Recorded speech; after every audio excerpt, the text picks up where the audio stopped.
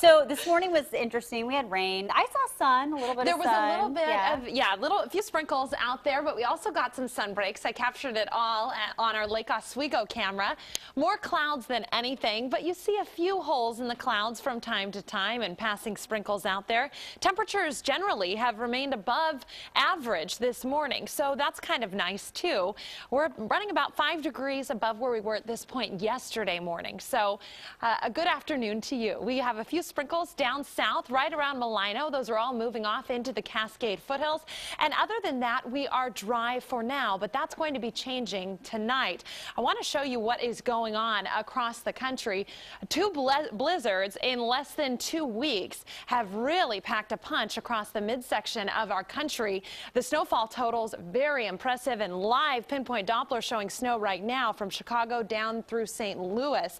Wichita, Kansas has had more than 21 inches of snow so far this month, which makes it the snowiest month on record. We have some video to show you that is out of a Missouri gas station. You can see in this video a canopy over the gas pumps fell because of the weight of that snow, just buckled under it.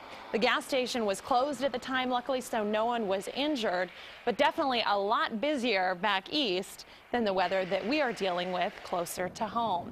So for now, we are mostly cloudy around the, the Willamette Valley and out at the coast. A few sprinkles around, but that ought to do it for today. That's until tonight when rain moves onshore, and tomorrow looks to be the wettest day of the week so far. And then we're drying out for the day on Friday. I want to play raincast so you can plan the rest of your day into tomorrow. There's all that rain moving through overnight. This is 8 o'clock tomorrow morning. So we'll start with solid rain uh, around the metro for your morning commute and out at the coast. Heavy at times, I think, in the morning, and then things start to break up. This is 5 o'clock. Some more shower activity. Still some heavy rain coming down over the Cascades. And then look at that. By the time Friday morning rolls around, the first day of March, we are dry. How about snow levels? They're climbing the next couple of days. So today we're up around 6,000 feet, or we will be within the next few hours. Same for tomorrow, but then look at that. Friday and Saturday, snow level climbs to 9,000 feet. So no travel troubles over the passes this weekend. Temperatures outside in the upper 40s for Beaverton and Garden Home, 50 degrees for those of you in Tigard, 50 as well in downtown, and 51 degrees for Eastmoreland. Out at the coast, we've got a mix of 50s and 40s, 54 in Tillamook this afternoon, 48 degrees in Hood River, and 46 degrees in Bend. Now, I mentioned a little while ago that we've been unusually warm this month. In fact, only one day at or below freezing at PDX.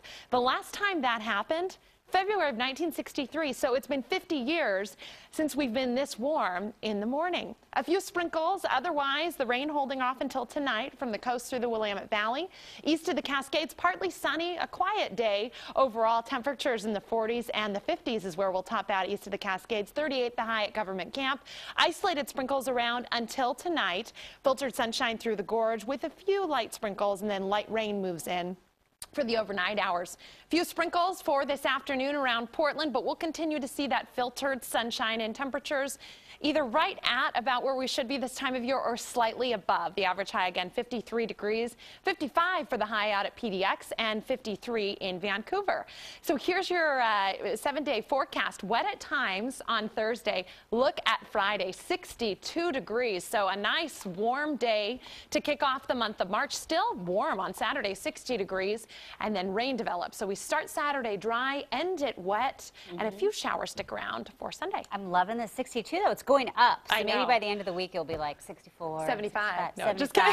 I wish. 80. All right. Thanks, Sally.